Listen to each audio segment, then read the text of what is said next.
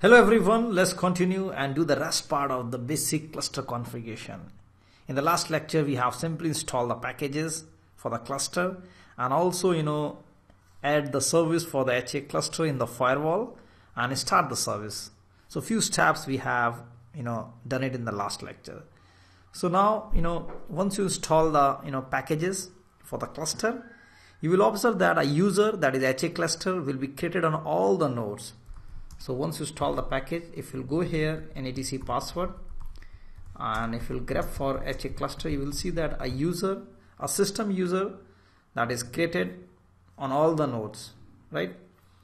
And uh, I need to set a password for this user HA cluster and that would be common for all the nodes.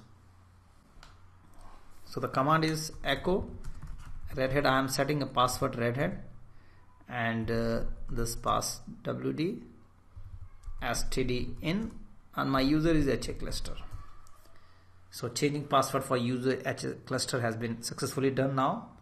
The next step is that you know the service that is PCSD which is running on all the nodes it requires you know all the cluster nodes to get authenticated with user HA cluster and password that we have set redhat. So for that we have to authenticate all the nodes. So the command is you know PCS cluster auth and I need to type all the node like node a.example.com node b.example.com and my last node is that is node c.example.com and I need to mention the same user that is my HA cluster and hyphen p is for the password. I'm check the command that is PCS cluster auth node A, node B and node C user HA cluster and password. So it has been authorized from all the nodes now. The next step is you know I need to you know configure the cluster or we can say the setup the cluster. So for that we have the command PCS cluster setup command which can be used to you know create the cluster we can say that so the command is you know pcs cluster and uh, setup hyphen hyphen is start and uh, the name of my cluster I can give any name. I'm giving cluster 0 and all the node name. That is node a dot example dot com node b dot example dot com node c dot example dot com and uh, I'm using hyphen hyphen force because I'm keep on you know creating cluster on the same servers again and again just for the testing purpose. So if you are doing it on a fresh machine so it is not required to use hyphen hyphen force option. So it started you know destroying all the nodes which was already created.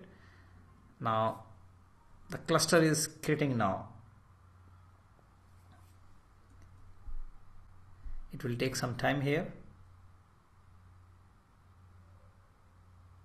Now you know if you'll take the reboot of any you know node cluster node so what will happen? It will not automatically join the cluster again.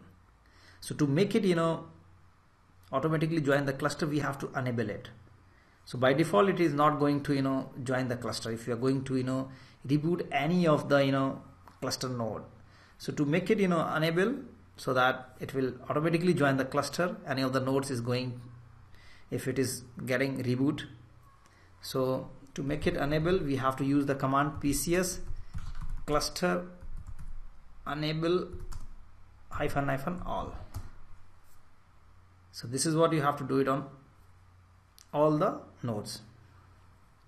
Now I'm coming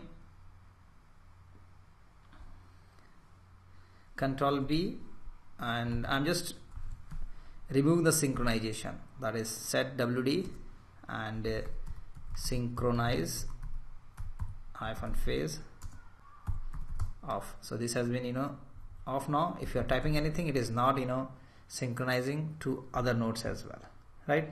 So this has been done now. Um, let me fire this command pcs cluster status. So you can see that all the nodes are running fine. And if I am coming to this node